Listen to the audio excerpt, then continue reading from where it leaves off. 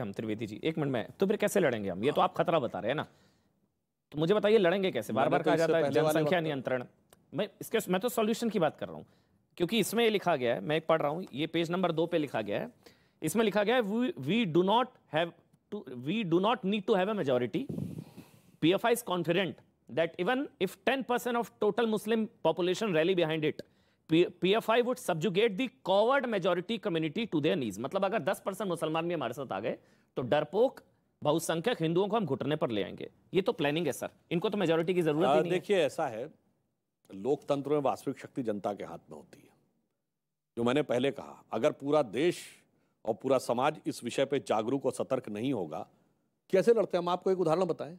हम और आप सब इस बातों पे लड़ते हैं कि हमारी भाषा और उनकी भाषा कभी आपने सुना कि महबूबा मुफ्ती ने कहा हो कि मैं कश्मीरी में भाषण दूँगी? कभी असदुद्दीन ओवैसी कहता मैं तेलुगु में भाषण दूँगा कभी बदरुद्दीन अजमल कहते मैं असमिया में भाषण दूँगा मैं ये नहीं कह रहा हूँ कि कभी केरल के किसी मुस्लिम को देखा कि वो कहे, मलयालम में भाषण दूँगा वहाँ वो एक बिंदु पर है। और हमारे अंदर उस विविधता के अंदर विभेद कैसे पैदा किया जाए, जो पूरा इकोसिस्टम लगा रहता है, कि हमारी जो एक खूबसूरती है अलग अलग उसमें लड़ाई कैसे पैदा की जाए, उसके लिए लगे रहते हैं। उदाहरण के लिए हाँ, इसमें है वो हाँ। सवर्ण हिंदू वर्सेस अब मैं इसी पे आ रहा हूँ। एक बार मैं डिबेट में था तो एक बड़े मुस्लिम नेता साथ में थे और एज यूजुअल एंकर ने कहा कि चुनाव से पहले के बाद इतने प्रतिशत मुस्लिम हैं और फिर इतने प्रतिशत ब्राह्मण क्षत्रिय यादव जाट फलाना ढिमाका ये वो। तो मैंने कहा जी इनको भी तो गिनाइए कि कितने सैयद कितने शेख कितने पठान कितने गद्दी कितने घोसी कितने अंसारी कितने तो तुर्क कितने बहना ये सब भी तो बताइए। और इतना नहीं मज़े की बात देखिए। उनके यहाँ आप मतलब इस बात पे एक विचार करके देखिए, शिया, सुन्नी, अहले हदीस, अहमदिया इतना ही देवबंदी, बरेलवी, एक दूसरे के खिलाफ फतवे हैं। आप डिफाइंड मस्जिदें हैं, डिफाइंड कब्रिस्तान है। हमारे ऐसा कुछ नहीं है। फिर भी हमारे दिमागों में भर दिया जाता है कि साहब, हमारे यहाँ देखिए कितना जातिगत विभेद है और उनके और मज़े की बात। फिर कन्वर्ट होने के बाद भी सब लोग उसी जातिगत भेद के आधार पर आरक्षण भी चाहते हैं और बहुत से लोग पा भी रहे हैं। मतलब कितनी मज़ेदार बात यह है कि एक तरफ़ वो कहते हैं कि जाति भेद के कारण कन्वर्ट हुए और फिर उतनी जाति मेंटेन रखते हुए आरक्षण भी पाने का दावा करते हैं। हम इस षड्यंत्र को जब तक नहीं समझेंगे तो मैंने क्या कहा? लोकतंत्र में वास्तविक ता, ताकत राजा है। जैसे कहते हैं पुराने जमाने में यथा राजा तथा प्रजा। और लोकतंत्र में वास्तविक राजा प्रजा है।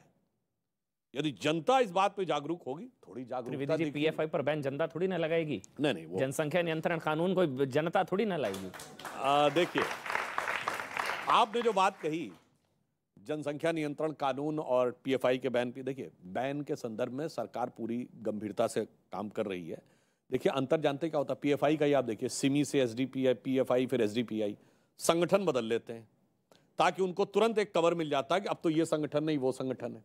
तो अब क्या किया जा रहा है कि व्यक्तियों को आइडेंटिफाई करने का प्रयास हो रहा है और इसीलिए यूपीए यूएपीए एक्ट में चेंज किया गया है।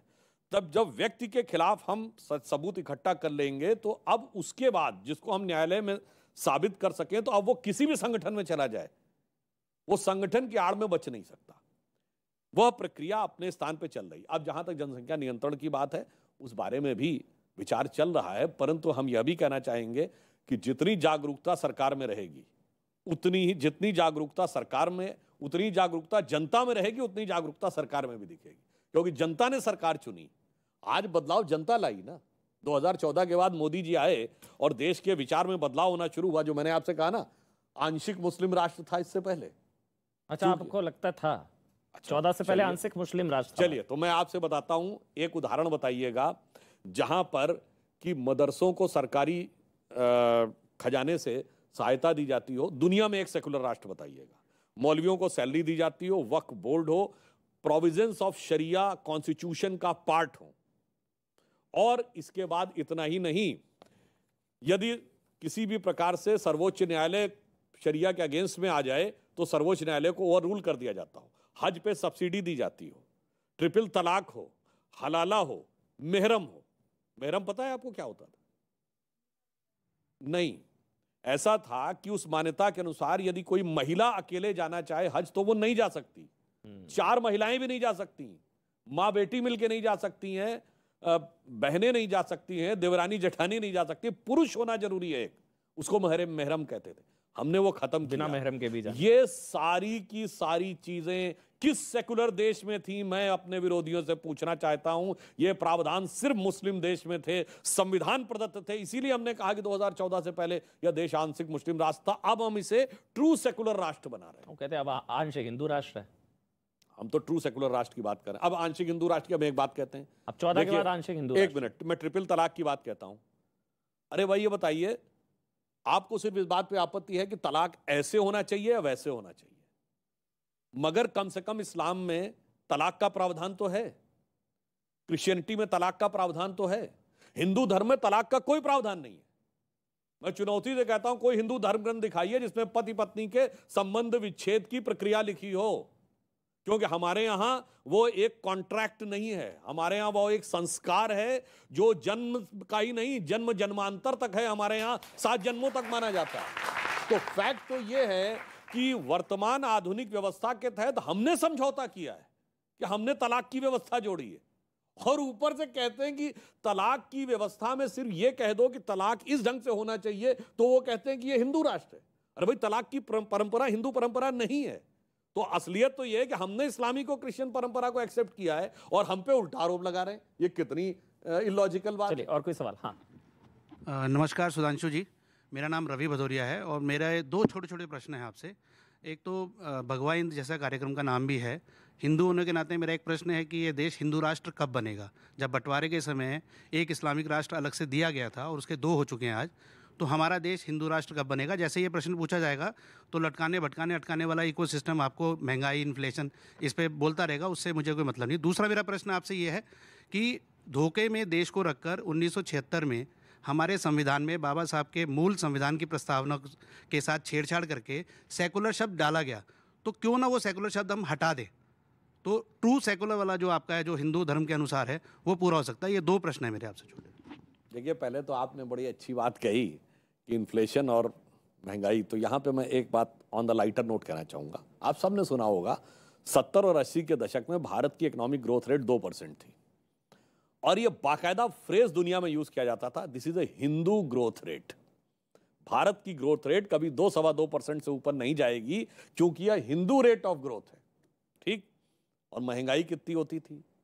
दहाई अंक से ऊपर महँगाई होना सामान्य बात थी। आप में से बहुत से लोगों को ना ध्यान हो तो एक ज़माने में तेईस परसेंट, चौबीस परसेंट रेट ऑफ़ इन्फ्लेशन रहा है। उन्नीस सौ तिहत्तर, चौहत्तर, पचहत्तर में जब वो फ़ेमस वाला गाना आया था कि पाउडर वाले दूध की मलाई मार गई और राशन वाली लाइन की लंबाई मार गई और बाकी जो बचा था वो महँगाई मार गई, अगर आपको याद हो। अब चांस की बात देखिए, जब से उनके हिसाब से हिंदूवादी सरकार आई तो rate of growth rate of inflation से डबल चल रहा है। अटल जी के ज़माने में हमने साढ़े छः पाँच छः परसेंट की रेट ऑफ़ ग्रोथ छोड़ी थी। मोदी जी के ज़माने में साढ़े आठ परसेंट तक की गई। अभी भी जो एस्टिमेट है आईएमएफ और वर्ल्ड बैंक का, वो साढ़े नौ परसेंट का बता रहा है। तो भैया, जो आप कहते थे अर्थव्यवस्था महँगाई तो अपने ज़माने में बता तो दो कि कितनी अर्थव्यवस्था और महँगाई थी। और हमारे ज़माने में कितनी है? आपको एक और बात बताएँ। इस पर भी थोड़ा कह रहे हैं। लोग कहते हैं ना, पचास साल की सबसे बड़ी महँगाई, पैंतालीस साल की सबसे बुरी अर्थव्यवस्था। ये बताइए, उन्नीस सौ इक्यानवे में तो सोना गिरवी रखा गया था। हमारा balance of payment foreign exchange reserve एक बिलियन। आज 600 बिलियन से ऊपर है। उससे बुरी स्थिति है। रेट ऑफ़ इन्फ्लेशन 14 परसेंट, तेरह परसेंट। नब्बे इक्यानबे की बात कह रहा हूँ। कुछ भी बात जो आपने कहा, लटकाने, भटकाने वाला काम, ऐसा झूठा दुष्प्रचार खड़ा करने का प्रयास किया जाता है, इन सारी बातों को लेकर। इसलिए, क्योंकि हम कमिटेड हैं प्रधानमंत्री जी का कहना, हम विकास के तरफ़ पूरी तरीके से आगे बढ़ रहे हैं। सबको शिक्षा, सबको स्वास्थ्य सुविधा और उसके साथ साथ राष्ट्रवाद का विचार भी। क्योंकि हम सुरक्षा में भी किसी प्रकार की कोई समझौता नहीं करना चाहते और ईमानदारी से अगर आप आगे बढ़ें तो हम एक बात कहना चाहते हैं। हमारी सरकार आई। औरंगज़ेब रोड था नाम। हमने बदल के डॉक्टर कलाम रोड किया। और हम पूछना चाहते हैं कि जो लोग हम पे सांप्रदायिकता का आरोप लगाते हैं doctor A P APJ Abul Kalam के नमाज़ जनाजा में कितने सेकुलर नेता गए थे? बुरहान वानी के में खूब गए, याकूब मेनन के में खूब गए, अफजल गुरु पर आँसू खूब बहाए, आतंकवाद के आरोपियों घर पे खूब गए। बता तो दो कौन कितने गए। तब समझ में आता है, अब भारत की सेना के पहले gallantry award winner brigadier Mohammad Usman थे। कितने लोग गए उनके घर पे? गाजीपुर में, मुख्तार अंसारी के घर पे जाएँगे, वहाँ नहीं जाएँगे, आजमगढ़ में। वीर अब्दुल हमीद गाजीपुर के थे। कितने लोग गए उनके घर पे? उनके बलिदान की पचासवीं वर्षगांठ हुई 2015 में। उस्ताद बिस्मिल्ला खान ने पहली शहनाई बजाई थी। कितने लोग गए उनके घर पे? वाराणसी में। नहीं गए। क्यों? क्योंकि आपको जो इन्होंने बात बोली, आपको तो वो एजेंडा है जो गजवाए हिंद को सेटअप करे। उसके साथ रहना है। यानी अपराधी और आतंकवादी प्रवृत्ति के मुस्लिमों को बढ़ावा देना है। राष्ट्रवादी प्रवृत्ति के मुस्लिमों से किनारा करना। औरंगज़ेब की मजार पर गए थे वैसे ओवैसी साहब। हाँ। मेरा सुधांशु जी से प्रश्न है कि नजमा हिजाब क्यों पहनने लगी? नजमा थोड़ा सा मैं बताऊँगी बॉम्बे में मेरी मेड है। आराम से हम लोगों की तरह वो आती है हमने हिंदू होकर उसको घर में बच्चा अपना संभाला। अब पड़ोस के फ्लैट की जो कॉन्वेंट एजुकेटेड है मैडम वो हिजाब पहनने लगी। तो नजमा भी हिजाब पहनने लगी। मैंने उससे पूछा भी तू हिजाब क्यों पहनती है? अभी तक तो तू नहीं पहन रही थी। कहती मेरा डिवोर्स हो गया ना तो मौलाना ने कहा है कि हिजाब वाली लड़की की शादी अच्छी जगह हो जाएगी। तो ये मानसिकता कौन फैला रहा है? और इसके लिए हम लोगों को क्या करना है? और कोई सवाल? हाँ पीछे पीछे दे दीजिए। सर नमस्कार मेरा नाम संगीता तिवारी है। आ, मेरा क्वेश्चन है हिंदुस्तान में हिंदू कितना सुरक्षित है? त्रिवेदी जी, अब एक फिर आगे बढ़ते पहले त्रिवेदी जी बोले। सुधांशु त्रिवेदी। देखिए, जो कई प्रश्न पूछे गए, इसमें मैं एक और बात भी कहना चाहता हूँ। हमें शिक्षा देनी चाहिए, परंतु मैं ये पूछना चाहता हूँ, हम लोग अपने बच्चों को क्या शिक्षा देते हैं? जैसे आपने बताया कि यदि वह लड़की हिजाब पहनने लगी, वो सही, गलत, वो विषय अलग है, वो उसकी मान्यता है, वो अपनी मान्यता पर दृढ़ है। हमारे जो यंग बच्चे, बच्चियाँ हैं, उनके बारे में जैसा आपने कहा, हम तो धर्म को नहीं मानते, उनके साथ उसका उल्टा है। वो वेस्टर्न ड्रेसेस के ऊपर आग्रहपूर्वक अड़कर दूसरे को एकदम डिफीटेस माइंडसेट में, ये डिफीटेस माइंडसेट है। उदाहरण के लिए देखिए, कोई व्यक्ति अगर अपना पहनावा पहनता है ईमानदारी के साथ, यदि मैं उदाहरण देना चाहता हूँ। सिख हैं, पगड़ी पहनते हैं और दाढ़ी भी रखते हैं। उनको कभी उसके मन में इंफियाटी कॉम्प्लेक्स नहीं आती। क्योंकि उन्होंने लड़कर संघर्ष करके जीता है। हम लोग एक छोटी चोटी रखते थे, वो भी रखना बंद कर दिया। अंदर तिलक छोड़िए। अरे, अपने शर्ट के अंदर का जनेऊ पहनना छोड़ बैकवर्ड है बैकवर्ड नहीं है साहब, ये डिफीटस माइंडसेट है। इस बात को समझिए। और उल्लेखनीय बात यह है कि हमारी जो जो चीज़ें थी, जिसके लिए हमारा मज़ाक उड़ाया गया था, क्रमशः सब साइंटिफिक होती जा रही है। पूजा में सबसे ज़्यादा प्रयोग किसका होता? है हल्दी का। हल्दी सबसे अच्छी एंटीसेप्टिक है अप्रूव हो रहा है। ये बताइए, सबसे ज़्यादा प्रयोग होता गंगा जल का? गंगा जल में सबसे ज़्यादा ऑक्सीजन है यह बात अब आ रही है। पीपल के पेड़ का प्रयोग होता सबसे ज़्यादा ऑक्सीजन निकालने वाला एकमात्र पेड़ जो है वो पीपल है। इसके बाद यूज़ होता तुलसी। तुलसी सबसे ज़्यादा एंटी वो वो अपनी जो इम्यूनिटी बढ़ाने वाली है, ये बात अब प्रूव होके आ रही है। मतलब हमारा जो कुछ है वो सामने दिख रहा है वन बाई वन साइंस उसको प्रूव करती चली जा रही है। गाय सबसे पूज्य मानी जाती है। काउ मिल्क में ए टू होता है। वो भैंस के मिल्क से ज़्यादा बेहतर है। सारी चीज़ें स्पष्ट होकर आती चली जा रही है।